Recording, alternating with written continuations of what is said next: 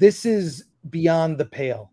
It's one thing to decide a book is not going to be. First of all, I think it's it's whenever you hear that a book is going to be banned, great promotion for the book. You know, I immediately uh, will seek out anything Dr. Seuss or whatever if they say it's going to get banned. Um, so, and they're banned for stupid reasons. This is beyond the pale. This is out and out rewriting the words of a beloved author who's, and also it's a great argument for used books. Uh, I, there's a great used bookstore in Pasadena for those listening that are local. It's called Book Alley. It's on Colorado Boulevard. Book Alley is a bookstore I've been going to for more than two decades. Is a great books used bookstore. There's another great used bookstore downtown LA.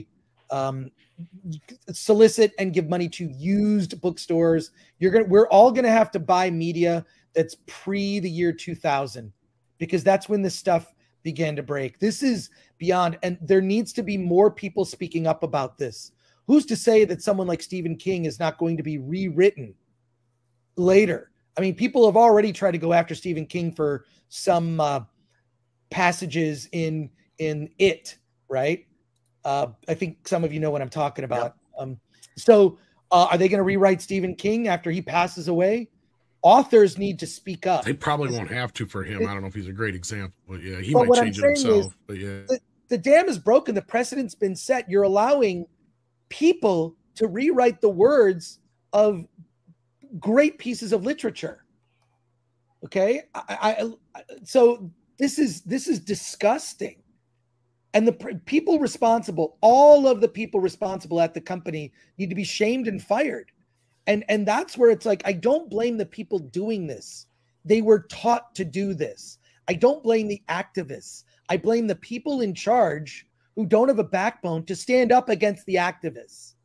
And this is the thing that's happening in the wga there are idiots there right now and then the people in charge are allowing them to to to flourish. And it, it's it, and so this is this is all a matter of like uh, I don't know if it's driven by weakness or guilt or whatever, but you're a lot you're they're they're allowing this to happen is just sickening to me.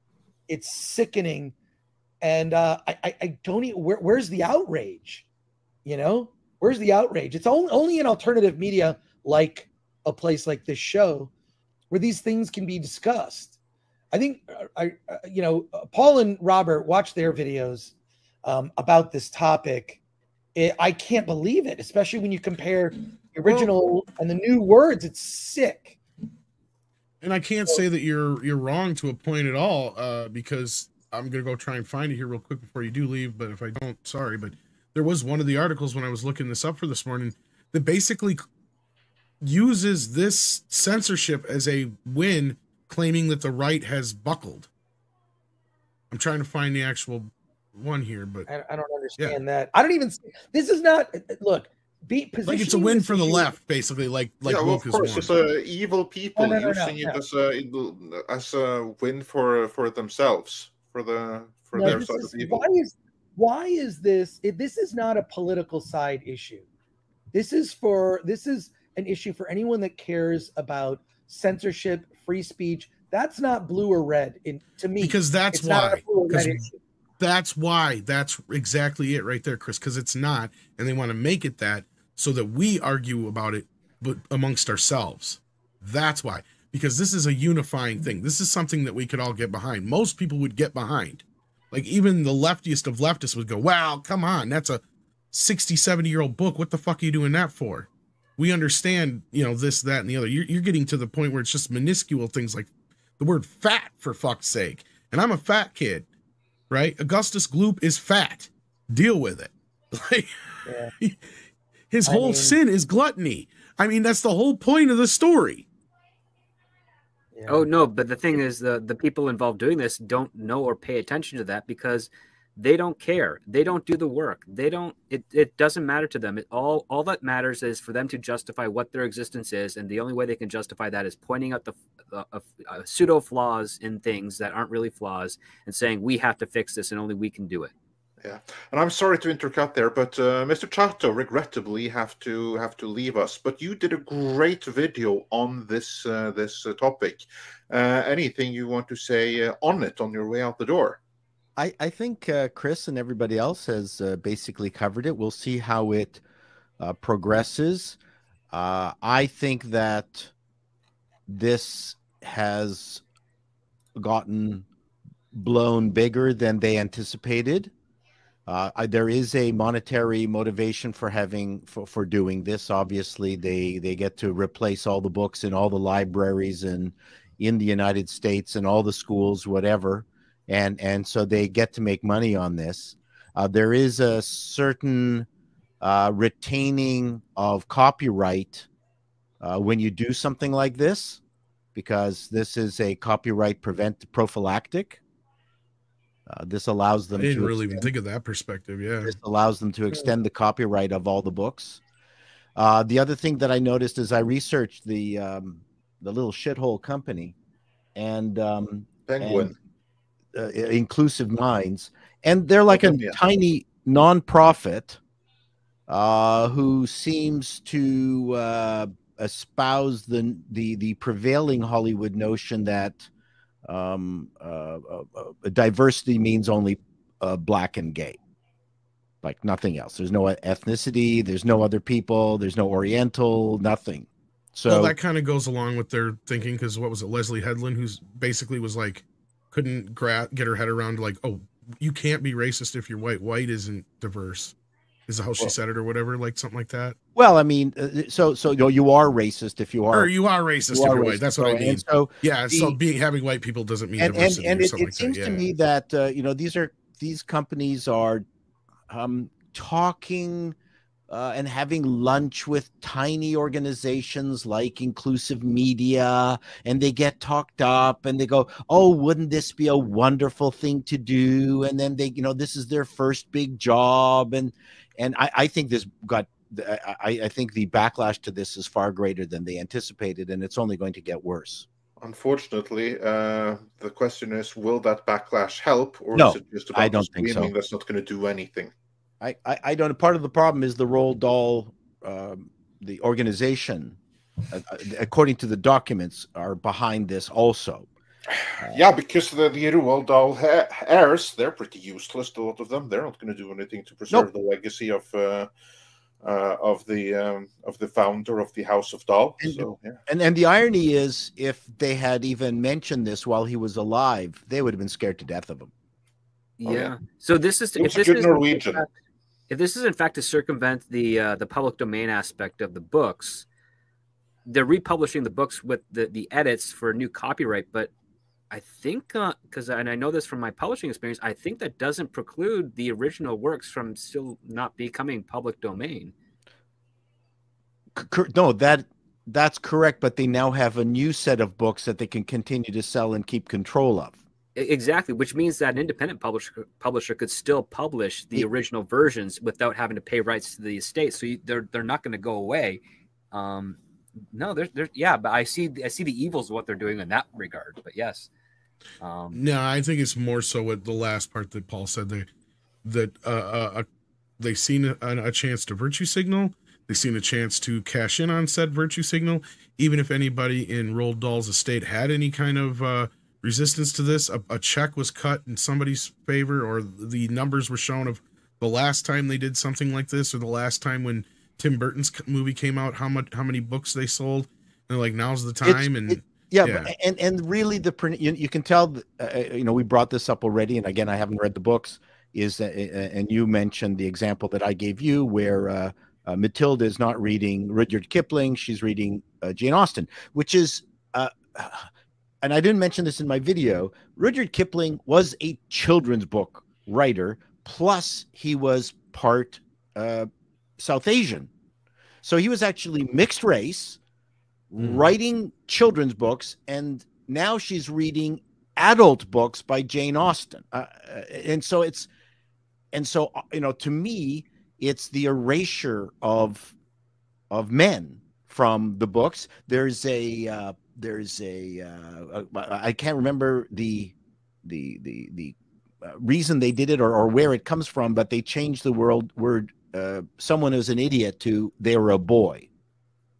So I guess the boy was an idiot. I mean, it, they, they are so politically um, uh, interested in changing not just the, uh, the, you know the things that might be offensive, but it's the the hyper offensive. It's the what could be offensive in the future. Our school board here in Toronto uh, changed uh, their uh, chief financial officer, chief, uh, uh, you know, executive officer. Uh, they got rid of the word chief because it was offensive to the native community here or the indigenous community. And one of the reporters asked them, "So, uh, so did you get complaints from the indigenous community about the word chief?" No, no one complained. So they had um, what did I call it? Precog wokeness. Yeah. so so not only are they are, are they trying to change what's going on now, but they're precogging. They've got these woke people in pods filled with liquid with yeah. wires attached to them, guessing what is going to be woke in the future. It's just this is just thoroughly offensive. Yeah, I agree and uh, yeah, it's it's sadly probably going to continue. Um, maybe this is oh, they're going to get There's going to be a lot of publicity, bad publicity around this. I'm really looking forward to seeing just what the final upshot yeah. is. And we haven't heard from Puffin yet. We're going to get some kind of puffiny puff piece, uh, uh, you know, extolling the virtues of inclusive minds and their tiny shithole company that uh, really well, we know in the next for brains we can almost at least uh, predict that the next edition charlie will then be a black trans woman who was raised by his single black mother and his four grandmas.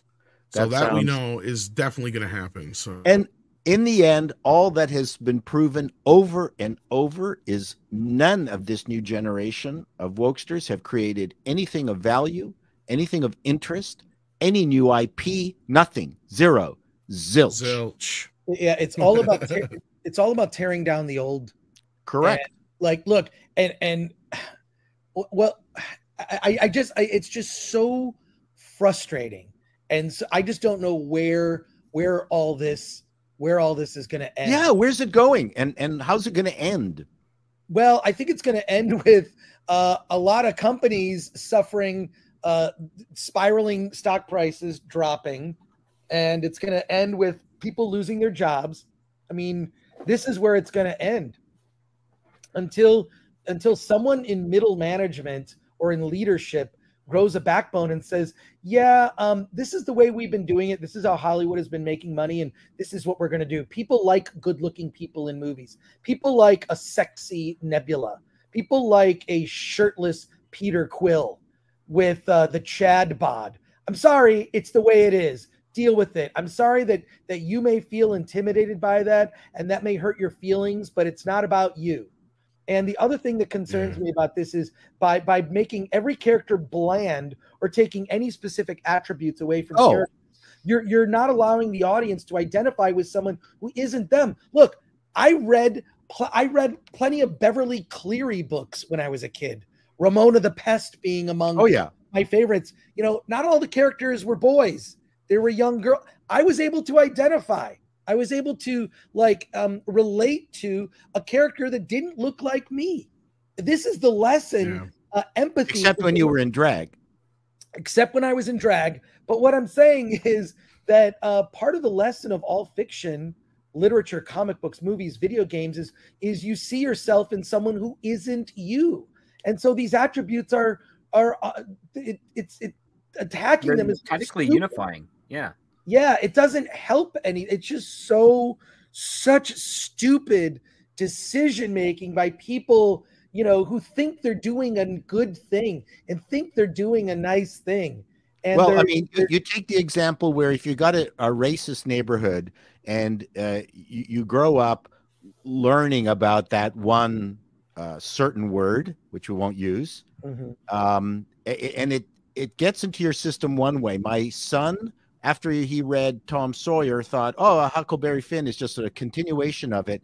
It rocked him to his core. That book taught him what that word meant. Yeah, and he would never use it in his life. Uh, and so people complain they all they see is the use of the word. They don't understand the context of the book and how powerful it is. And and uh, you know, I dare uh, most kids these days to to read it because they won't be able to. It is well, a very of difficult book to read. Parallel that with the modern day and how they go after Tarantino and he uses it. It's like no, you're not looking at the context. And when yeah, it, like, but like that, that is supposed to be a children, but that is yeah. Tarantino's not a children's exactly. Yeah, there's a differentiation there. That's true. And that was a very powerful, powerful moment in, yes. in his uh, in his life and his learning, and and he learned what that word meant in the right way. I would suggest to you, as opposed from a bunch of racist relatives. And um, yeah, I, I I have no idea where this is uh, going. I, would like it to end. yeah soon yeah yeah. And speaking of ending, I know both of you have to leave, and yeah. we certainly have Chris on yeah. overtime. But yeah. Alf, yes, thank you, Chris. Chris thank why you. are you acting like erasing history is a new thing? The concept of erasing history has been around for centuries. It's a paradox that keeps repeating. Says Al for ten dollars. So thank you. Al. Well, yes, absolutely. Yeah. No, I, I, I, I, you know, my point wasn't wasn't that that hasn't happened before. My point is i haven't noticed it so in such an overt way in my lifetime. So it's just very very bizarre. So uh you know i don't know I don't know. Uh, but thank you, gentlemen. I was able to stay on longer because I kind of took a phone call there and disappeared for like 10 minutes. So thank you for that. No, I appreciate will, it, man. Oh, thank you. We love having you here and uh, Mr. Chato as well. So everyone, make sure to check out uh, both the film threat and to call me Chato. Link for both is, of course, in the description. And uh, especially check out um, Film Threat uh, streams on Wednesday, which uh, you really cannot miss. Anything else you want to add to that, uh, Chris? Yeah, we're uh, we're closing in on sixty nine thousand subs. Wow! You are not subscribed to the Film Threat YouTube channel. I know there's a couple thousand people watching. Please subscribe to Film Threat. Get us to sixty nine thousand. Uh, uh, my my partner there, Alan Alaning, will very much appreciate it. You very much appreciate it. And congratulations, Chato. Are you you're a hundred thousand now or you're close? Oh no, I'm about twenty five hundred away. And uh, please uh, give me your subscribers first before you give them to film. please. You can subscribe to both. There's no need to choose. There's no need to choose. There's I, only so many subscriptions to go around, Chris. Don't I get need, hasty. I no, need to get there before film threat. That's all I have. And